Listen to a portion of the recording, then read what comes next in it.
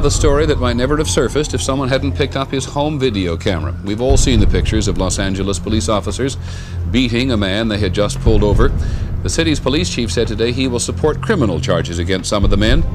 Here's ABC's Gary Shep. One square block, we saw possible, ask them to be responsible for their sound. Maximum intensity, and in the short time that we have been up here. that we face right now. You said it, and we've all been wondering uh, through the South Central Los Angeles at Florence and Normandie. Because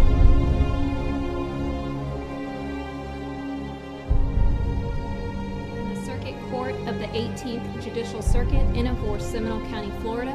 State of Florida versus George Zimmerman. Verdict, we the jury find George Zimmerman not guilty.